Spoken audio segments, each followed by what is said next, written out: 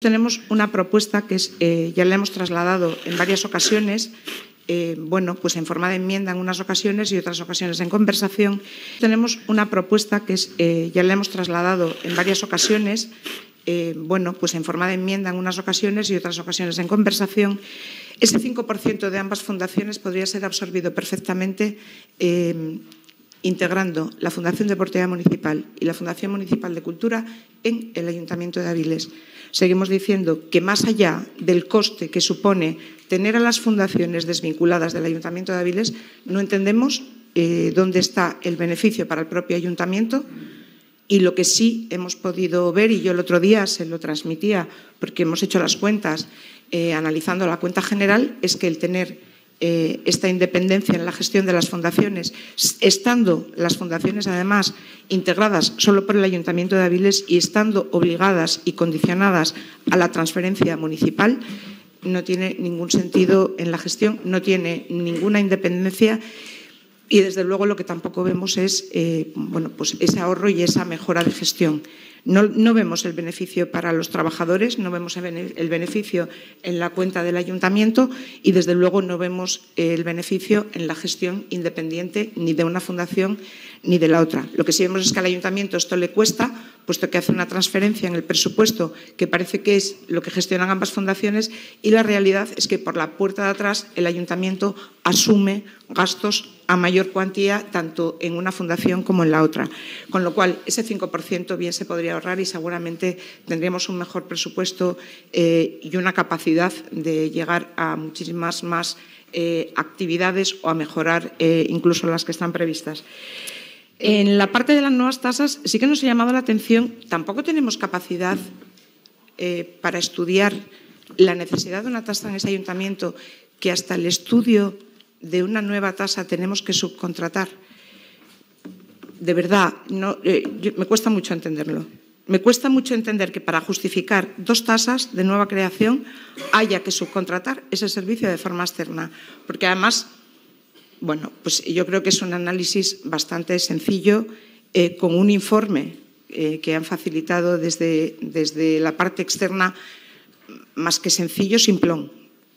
Eh, no entiendo que tengamos que pagar absolutamente por todo, porque no acabo de entender cuál es la gestión de los recursos humanos y no acabo de entender esa RPT que manejamos en este ayuntamiento, porque luego al final estamos justificando necesidades que tenemos externas que de verdad no se pueden comprender. Volumen de trabajadores y contratos externos mm, no guardan una relación directa. Eh, en cuanto a la tasa de la boda, que, eh, bueno, compartiendo que al final todo tiene costes y todo tiene gastos, eh, sí que me sorprendió un detalle que si se cancela la boda con 30 días de antelación se devuelve el 50%. Si es inferior a los 30 días no se devuelve nada. Hombre, si no hay coste del servicio, pues bien podemos tener el detalle de no cobrarlo. Yo creo que hasta ahí ya es arañar hasta el último céntimo. Eh, en cualquier caso, quiero decir, esta es la propuesta, su propuesta va a salir adelante y así se quedará. Pero bueno, es un poco eh, de aquella forma. Y yo lo que sí que me gustaría saber, en lo que tiene que ver con la, con la tasa de los atestados, si se va a cumplir eh, esa previsión que se hace porque se detalla el coste por trabajador y por recurso asignado a cada uno de los servicios. Yo no sé si esto se cumple siempre. Lo que sí le puedo decir es que hay muchísimos ciudadanos que se sorprenden de que después de haber tenido un accidente, después de que a lo mejor les hayan invadido, después de que les hayan provocado un desastre personal que no tenían, que tengan que pagarle al ayuntamiento, con lo cual vamos a intentar justificar esto de la mejor forma posible y vamos a intentar que el ciudadano entienda eh, el motivo de esa tasa. En lo que tiene que ver con la tasa turística que ustedes plantean y que el otro día eh, yo me volvía loca porque de repente pues, todos los medios de comunicación, eh, lógicamente esto les genera un interés extraordinario y yo miraba la relación de propuestas que teníamos en el Pleno y no encontraba la, la tasa turística por ninguna parte.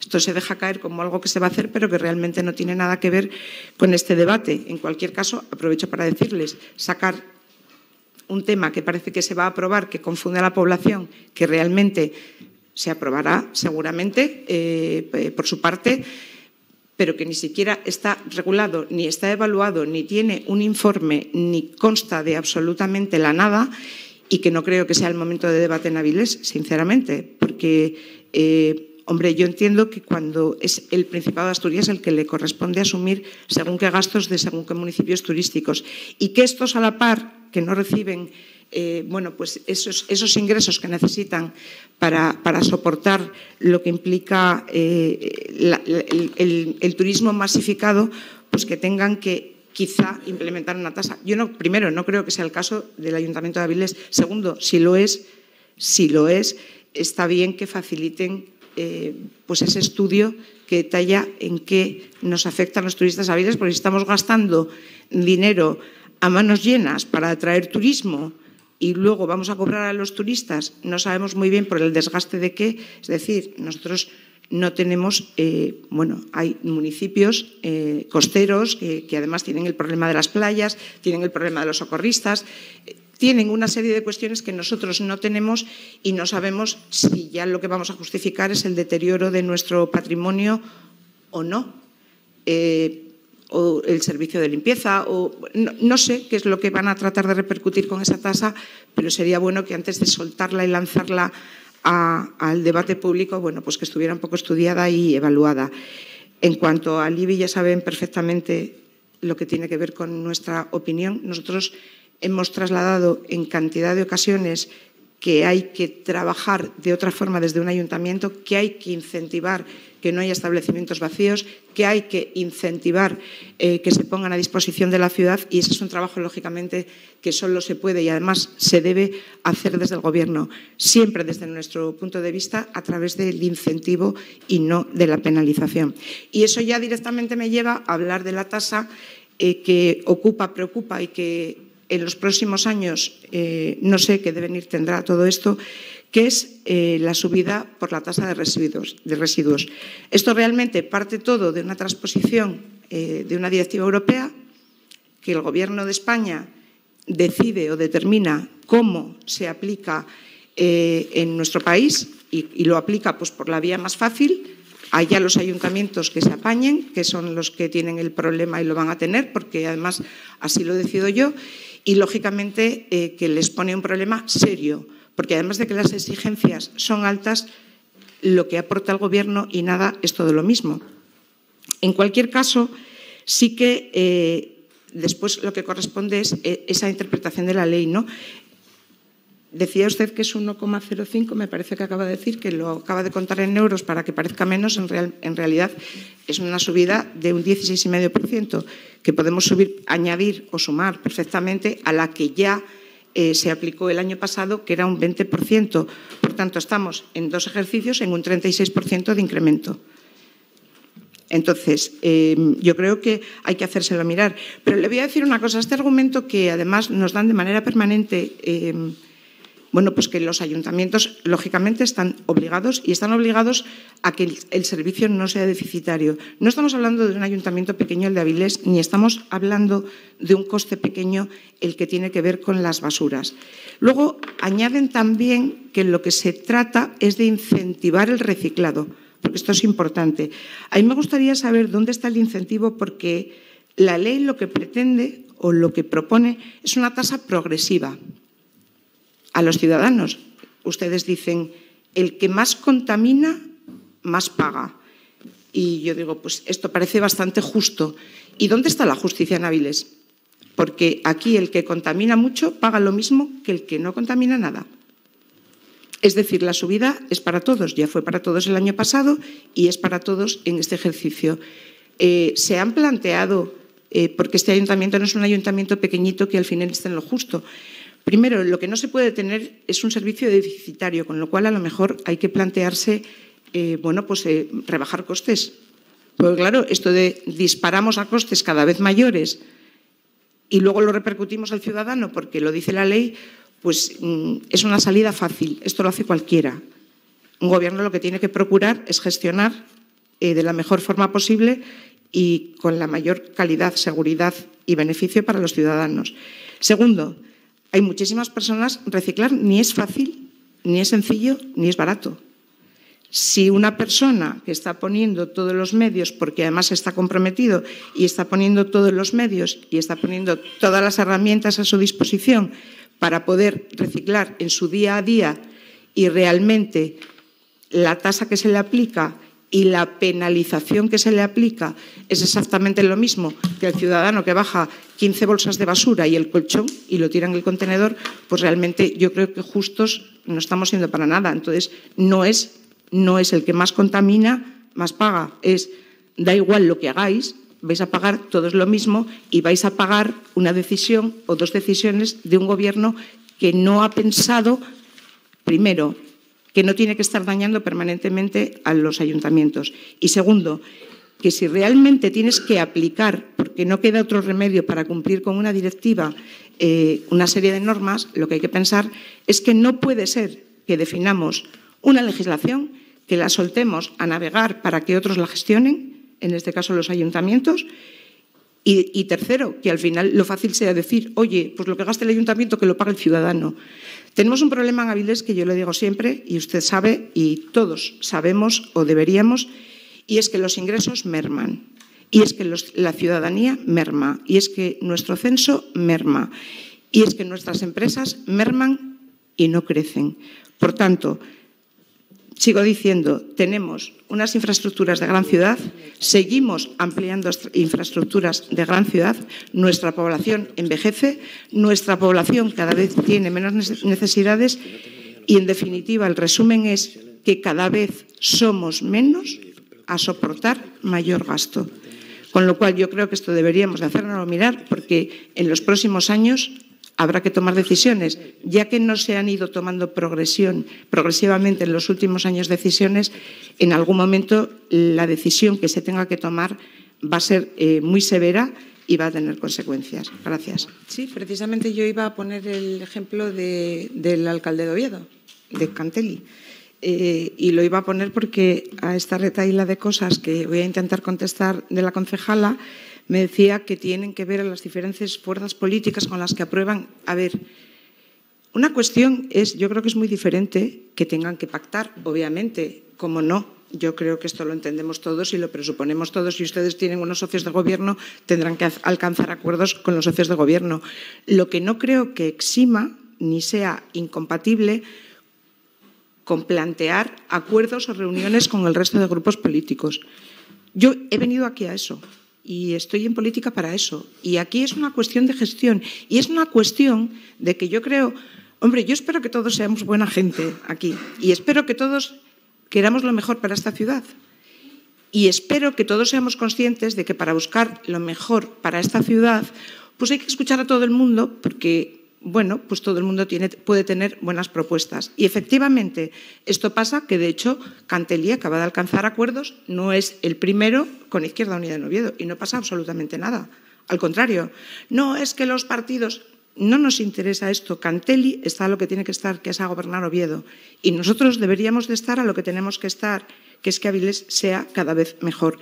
Y si alguien puede eh, ofrecer o plantear una mejor propuesta, pues a lo mejor hay que escucharle con independencia de que sea su compañero de gobierno o no. Es a lo que me refiero con esas reuniones que yo creo que son necesarias siempre. Entiendo, es mi forma de verlo y creo que no hay que limitar en este caso a su socio de gobierno, que por supuesto faltaría más, que no llegaran a un acuerdo con su socio de gobierno y, y, en un planteamiento que van a hacer de medio plazo. Yo creo que eso lo comprendemos todos, pero no sé en qué momento tienen que pactar con su socio de gobierno y no pueden escuchar al resto de, propuestas. Segundo, ¿de verdad nos estamos comparando con Oviedo? Yo creo que no debemos, no deben ustedes, yo no lo hago. Yo no comparo Avilés con otros municipios. Sí que veo en otros municipios si se implementan políticas que puedan mejorar las nuestras.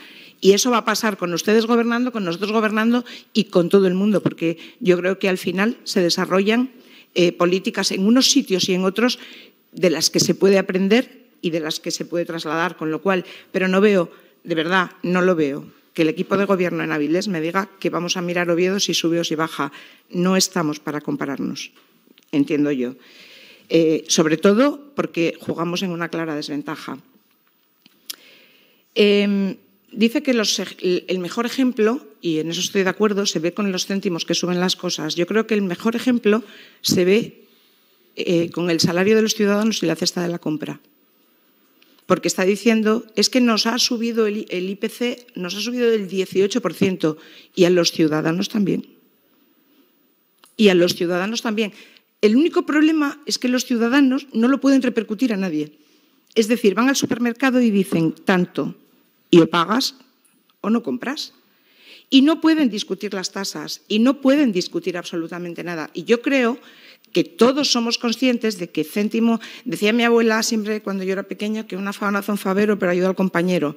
Pues esto, al final cuando sumas céntimos y céntimos y pequeñas subidas y pequeñas subidas a las grandes subidas, pues tienes un problema y eso es lo que debería de preocuparnos qué está pasando con los salarios y qué está pasando con la cesta de la compra y qué está pasando con la hipoteca y un poquito de aquí, un poquito de allí, un poquito del otro lado, pues efectivamente hay mucha gente que tiene más problemas de los que debería, seguramente.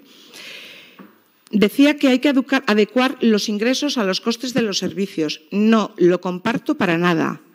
Igual hay que adecuar los costes a los ingresos que tenemos. El fin no siempre justifica los medios. Y desde luego, yo, si quiere, le hago una propuesta. ¿Quiere que revisemos alguno de los contratos que salen de este ayuntamiento y quiere ver cómo el ahorro puede ser importantísimo en diferentes contratos, en muchos contratos? A lo mejor hay que pensar que hay que adecuar los gastos hay que adecuarlos, no hay que gastarlo todo siempre y no hay que gastarlo de cualquier forma.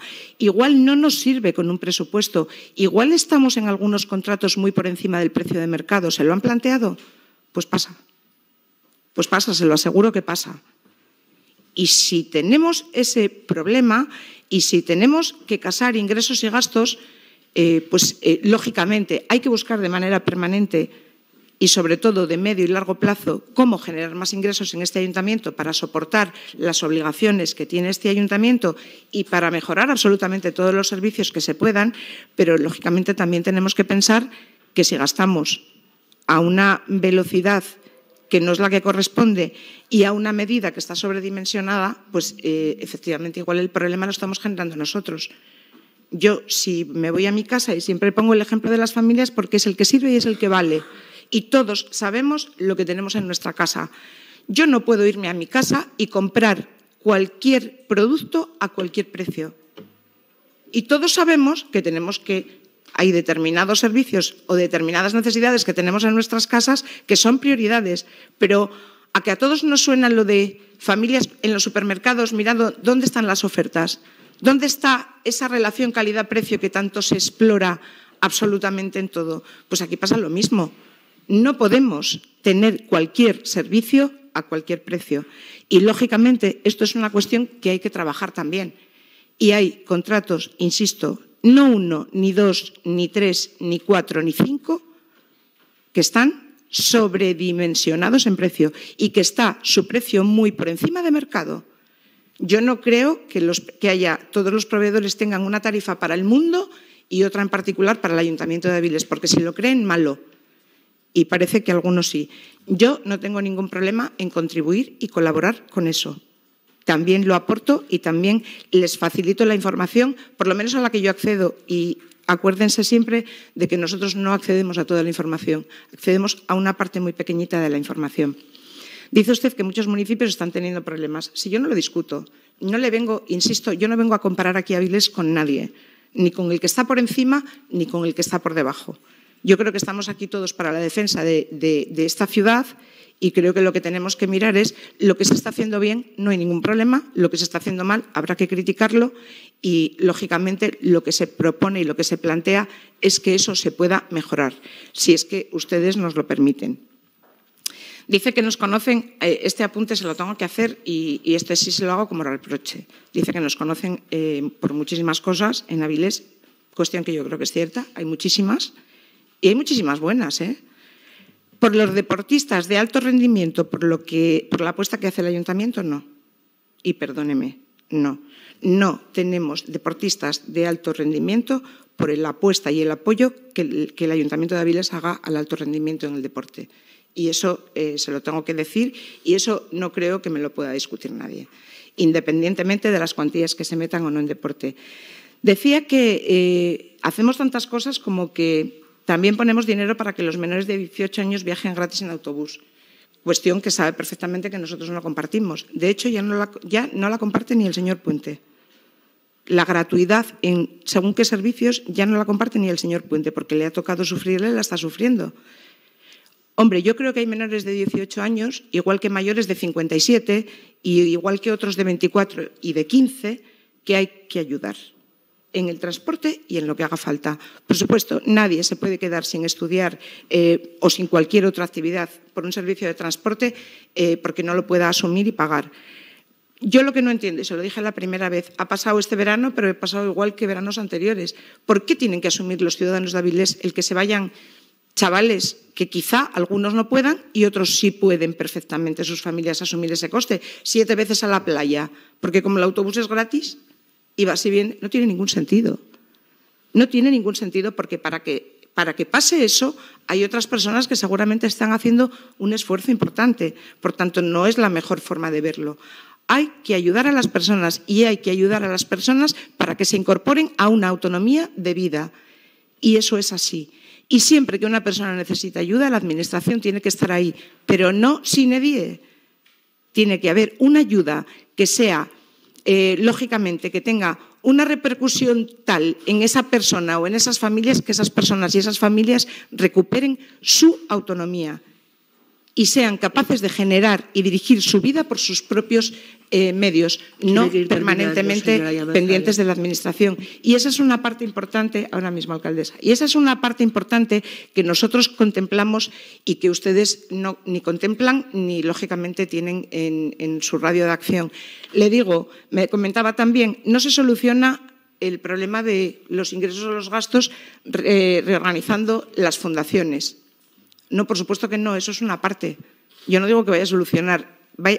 el, reorganizarlas va a solucionar una parte concreta. Y le puedo asegurar que sí, tiene una reducción en costes importante. Igual que lo sé yo, lo saben ustedes, fundamentalmente porque hay una parte administrativa y técnica que está duplicando está duplicando un coste para este ayuntamiento, igual que pasa en otros servicios. Y no entendemos por qué. Se supone que los medios que tiene este ayuntamiento son para mejorar la gestión y favorecer esa gestión, no realmente para perjudicarla o cargarla de más costes. Gracias. Gracias, señora